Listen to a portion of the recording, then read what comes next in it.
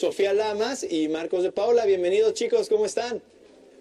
Omar, ¿cómo estás? Qué gusto estar Buenos días. tan tempranito con ustedes desde México y felicidades por su nuevo programa, está padrísimo el set y de verdad gracias por la invitación. Acá los esperamos, gracias. al fin tú ya eres consentida también de acá. Chicos, díganos, ¿cómo se están preparando para este gran final? Porque entra este síndrome de que ya quieren que acabe y cuando va a acabar quieren que siga. ¿Cómo se sienten?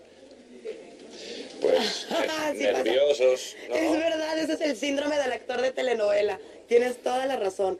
Pues mira, nosotros ya terminamos hace ya un ratito de, de- de grabar porque obviamente teníamos, eh, íbamos adelantando capítulos, pero pues muy bien. La verdad que sí fue triste porque este proyecto armamos una amistad padrísima, todo el elenco. Eh, fue una historia que disfrutamos mucho, ¿no? Porque el regresar a hacer una comedia, perdón, una comedia romántica, te voy a decir, es que estaba pensando en otra, Es que ya en otra cosa. todo. Regresar a hacer una, un melodrama tradicional en Telemundo, pues fue muy padre, ¿no? Porque a la gente obviamente le sigue gustando ese tipo de historias. Y, y, pues sí, terminar fue triste, pero ni modo, vienen más proyectos eh, y pues así tiene que ser esto, ¿no?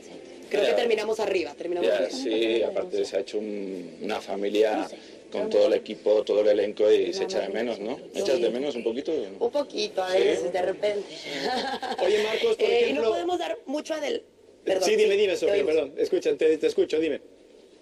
¿Qué nos ibas a decir? Eh, que no podemos revelar muchas cosas, porque hay contar. muchos secretos, muchas sorpresas. Desde esta historia, desde que empezó, fue una historia muy enredada, muchos Es que el conflictos, final muchos viene muy secretos. fuerte, ¿no, y el final viene muy fuerte. ¿Qué pasa? Al final Bueno. Bárbara y Junior se casan y, No, Bárbara y se Andrea casan. va detrás. Jamás. No, no nos hagan que estamos pendientes. Ya, ya- me cortaron la inspiración de preguntarles porque ya me dijeron que no nos van a dar información, así que mejor te pregunto, Marcos, ¿qué, qué experiencia o qué mm, eh, anécdota más, más alegre tienes de, de este trabajo?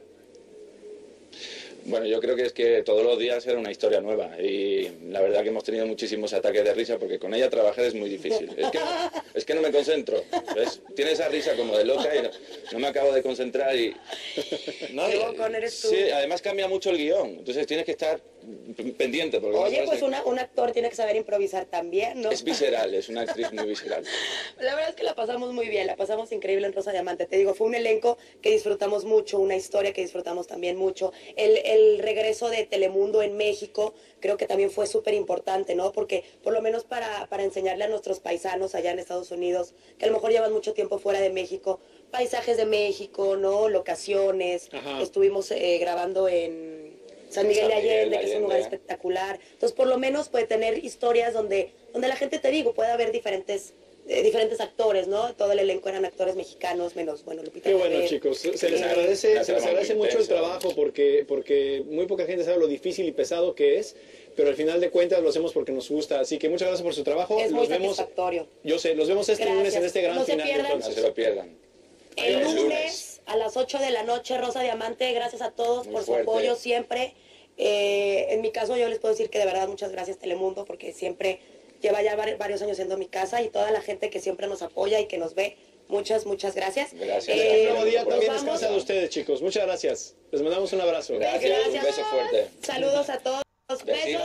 Hola, Mari, ¿cómo estás? Bien, gracias. Bye.